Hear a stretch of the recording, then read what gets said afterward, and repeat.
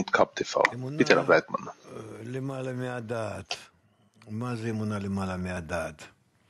Glauben über den Verstand. Was ist Glauben über den Verstand? Allmählich beginnen wir das zu fühlen, basiert auf unserer Erfahrung. Und das bedeutet, dass Münze, Münze sammelt sich eine große äh, Summe, die gewonnen wird zur zweiten Natur. Und dann mehr und mehr kommen wir zum Gefühl näher dessen, was Spiritualität genannt wird. Das heißt, vollkommen die Eigenschaft des Gebens ist, Binah,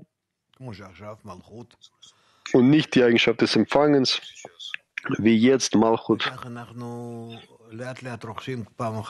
Und so allmählich erlangen wir ein, vom Unterricht zum Unterricht, das eine Mal zum anderen Mal in den Perioden von Pause zu Pause zwischen Unterrichten dort arbeitet aus, auch zwischen uns und so nähern wir uns an der Arbeit. Ich bitte um Entschuldigung. Und deswegen müssen wir nur noch mehr und noch mehr hinzufügen, hinzufügen in diesen Eigenschaften, was bedeutet Glauben den Verstand und wie wir darin voranschreiten. Ich denke, dass wir weitermachen werden, aber wichtig ist, dass wir verstehen, wir müssen uns von der Stufe des Empfangens erheben des Wissens, des Verlangens zu empfangen, ständig, weil wir darin, sind wir geboren, so spüren wir das, wir sind daran gewöhnt, die Welt so zu sehen, wie die Welt aufgebaut ist, wie sich die Welt ändert, funktioniert. Aber tatsächlich müssen wir als Resultat dieser Übungen uns auf eine Stu andere Stufe erheben.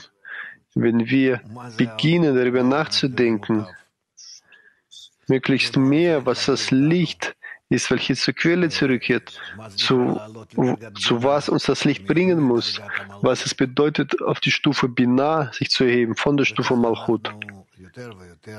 Und so mehr und mehr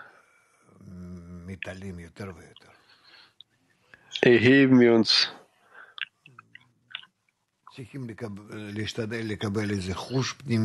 Man muss sich bemühen, eine innere, ein inneres Gefühl bekommen, was es bedeutet, dass ich mich vollkommen in der Eigenschaft des Gebens befinde und nicht in der Eigenschaft des Empfangs. Lasst uns das Programm, die Diskette ändern. Lass uns beginnen, als ob anders sich zu beziehen, mit einem neuen Verstand, mit einem neuen Herz zur Realität. Was werden wir dann sehen? So müssen wir uns bemühen, diese